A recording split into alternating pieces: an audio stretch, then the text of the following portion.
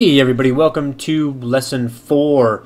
Moving into, well, we're continuing with our discussion of the digital age, new media, how it's uh, affecting us, influencing us, or not affecting us, influencing us. This week we will be talking, uh, doing some more reading about those ideas, hyper and deep attention, the generation, generational divide, and cognitive modes.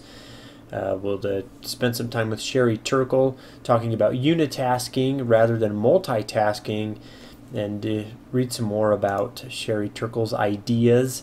Listen to some videos, listen to her speaking about her ideas, and also we'll do some uh, uh, kind of an alternative point of view, uh, perhaps, on how the internet enables intimacy. Last week we discussed um, how the internet might be affecting empathy uh, some of you pointed out that, that that sort of begs the question of whether or not we're really empathic in our face-to-face communications. So it's all kind of just this broad spectrum of human communication that we're looking at here, and it's important to keep those things in mind. Also, we'll be looking at a visual essay for the week, word, image, and the design of the page. Um, now, by week's end, you will need to post a uh, to post dra the draft of your digital story to the My Digital Story G Plus page, you will just uh, I think it's on the directions in the digital story assignment. You'll just grab the link. Pick anyone within uh, within the organization can view it if they have a link, and then post that to the G Plus page for the rest of the community.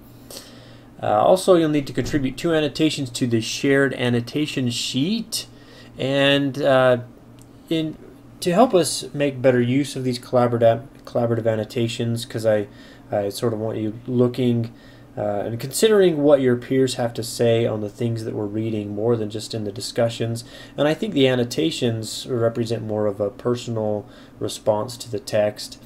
And so I'd like you to respond, uh, or to, to complete a talking back activity, collaborative annotation responses.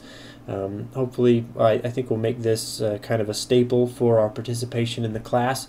What you'll do is once someone has posted, or by, by uh, see what I have here, by Friday, when you look in here in the shared annotation sheet, you will, um, uh, for two of the annotations, they need to be from different different of your classmates, two different classmates.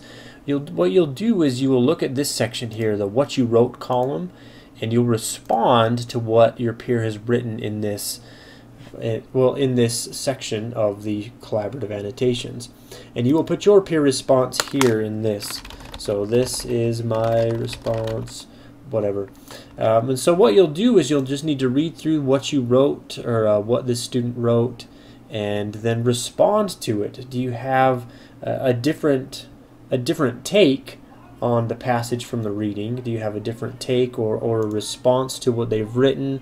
What you'll need to do is maybe uh, similar for what we've done for the peer review and the Twitter essays is looking at analyzing the choices they've made, maybe expanding on their ideas, um, just talking back with them um, and hopefully this can be a useful way to help us sort of refine our thinking and to expand our thinking and to interact with one another in a, in a different venue.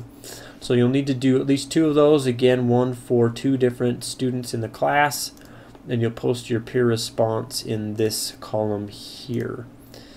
Now, so that's sort of a new new assignment for the week. And uh, other than that, we've got the two Google Plus conversations.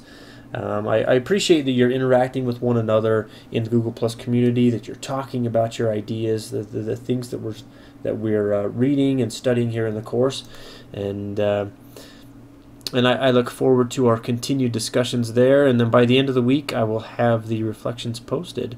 So if you, that's that's the rundown for the week. If you have questions about anything that uh, we're discussing, content, structure, etc., etc., please do feel free to let me know. My inbox is always open.